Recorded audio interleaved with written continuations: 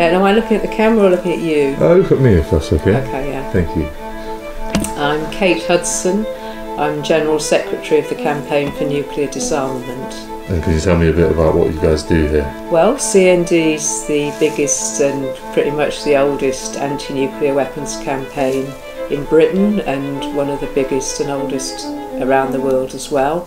If, if a tactical nuke was dropped on Charing Cross, what would that mean for the rest of London or the UK?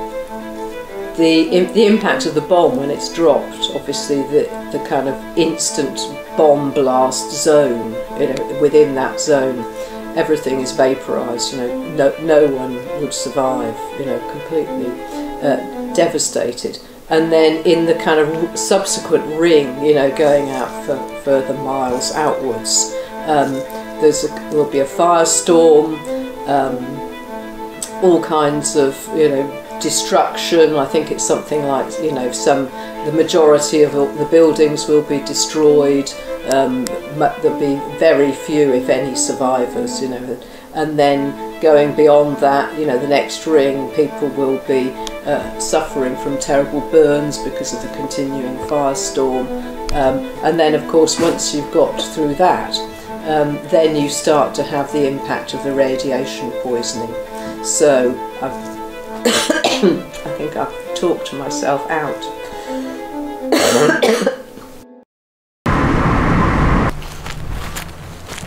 anti-nuclear campaigners, you already know that the world must get rid of these weapons of mass destruction, and you're not alone. Most of the world do not possess and do not want nuclear weapons. In 2021, following decades of campaigning from your movement, the Treaty on the prohibition of nuclear weapons entered into force, banning nuclear weapons for the first time.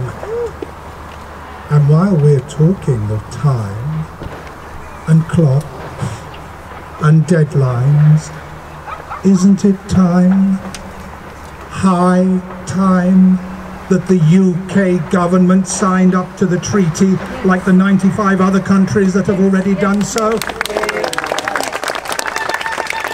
Furthermore, the UK government must say no to US nuclear weapons coming to this base that you travelled to today, because this can only make the world more dangerous and puts the UK in the crosshairs of any US-led war. Previously, 110 nuclear bombs were stored at this airbase, but following persistent popular protest, in 2008 they were removed Without public opposition, led by CND, they would still be here today. You stopped these weapons finding a permanent home here before. You must unite now to stop them again. You must build on your history and successes. Honour the campaigners that came before you, from the Aldermaston marches to the women of Greenham Common. You achieved a treaty banning nuclear weapons for the first time. You got rid of American nuclear weapons from Lakenheath once before. So I'm urging you to work together, to mobilize, to pull the hands of this clock back, back from midnight, away from midnight, for good. You must work together to achieve a timeline that isn't a doomsday clock but a dialogue clock, a diplomacy clock, not a doomsday clock but a hopeful clock, a positive clock, not a doomsday clock, but a peace day clock. Pull the hands back from midnight.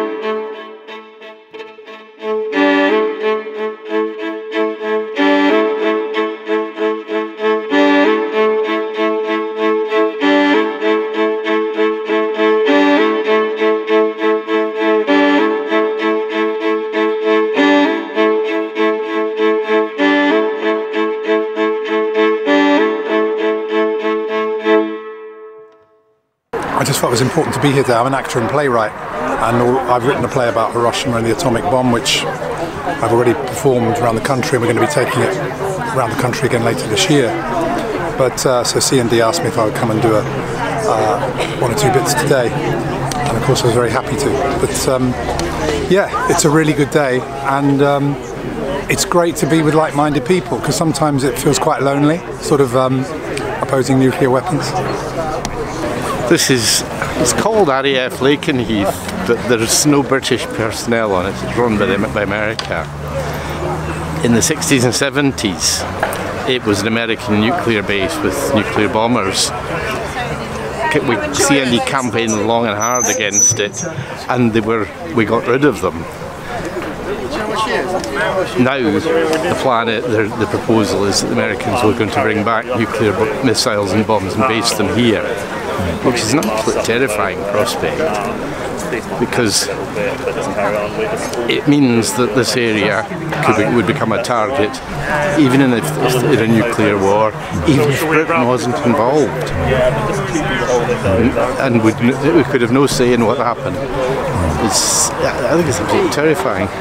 They're here because they serve military, they serve US nuclear weapons, they are here to facilitate that, here to kill, and we need to emphasise that in the local area and make sure people understand that they, who they're serving, who they're working for. Because they'll, they'll, they'll point to politicians as the enemy, but they don't necessarily point to military as the enemy, and we need to show that they are. They're not friends, uh, they're here for conflict. Um, we might hope that we're not on that end of conflict, but part of it we're responsible for it, and it might come to us one day. We might have to reap what they have sowed without having any kind of democratic sovereign position to say whether nukes should or shouldn't be used in a certain circumstance. We have no say, it's not our nukes. And I think the CND, as you can see from the age range of people here, if you're over 60, you might be registered, but there are a few people who are uh, under the age of 60 here, which sign,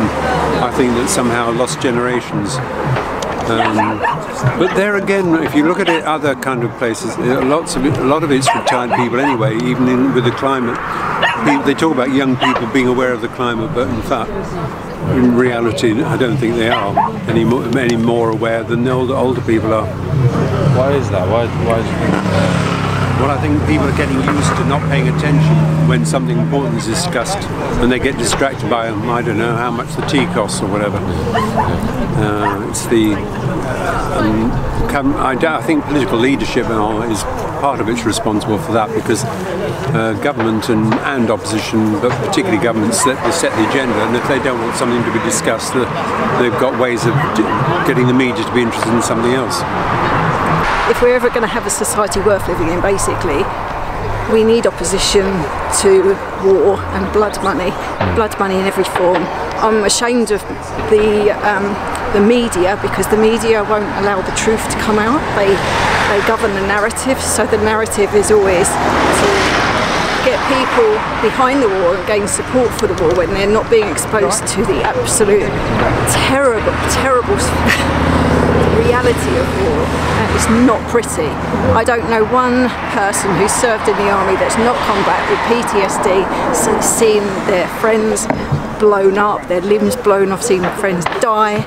It is not pretty, and the, uh, the BBC and all the other uh, media outlets, they they sanitise war, they make it seem honourable and for democracy. It's got nothing to do with that. It's about money making, and it's very sad. I feel that we don't have uh, a media that um, will give us the truth, but obviously that doesn't go in their interest because then they can continue to make money out of war. It doesn't affect them, it affects the people.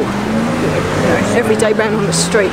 The, you know, we're still here kind of the third time along, so I think it's recognising the importance of continuing to protest mm. because it's an issue that's not going away. Mm. When you hear excuses from young people who carry knives and saying, I'm carrying a knife because someone else might be carrying it, is it that kind of It's thing? the same on a thousand million times bigger scale and a thousand million times more stupid. If we think the kids that do that are stupid, what do you make of people like the politicians that think I want to have a, a massive nuclear bomb because something you know, it's completely bonkers. At least, at least with a knife, you can cut up tomatoes and things like that.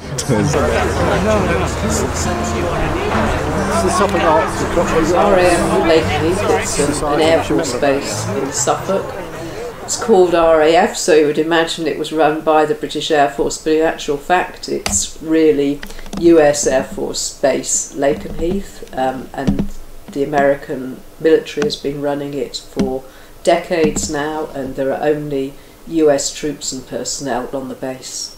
And one of the things we have to do is put pressure on our government. We have to make it very clear that the amount of money being spent on nuclear weapons, for example, that is something that needs to be pulled out of that and put into things that really matter to people. That could be housing, it could be health, also it could be addressing climate change. You know, we're seeing at the moment wildfires, incredibly high temperatures, that sort of thing, linked to climate change. You know, there has to be work done to reverse that. And that money, which is going into nuclear weapons, that has to be a part of that. You know, that's that's what taxpayers, most probably taxpayers, would want to see. A few years ago, we calculated with government figures um, how much replacing Britain's nuclear weapons system, Trident, how much that replacement, which is ongoing, how much that is costing. At that time, we had a figure of 205 billion pounds. Um, of course, in the last several years since we arrived at that figure, there's been massive inflation, there's been all the costs of the inputs are increasing, everything like that. So that figure is going to be much higher.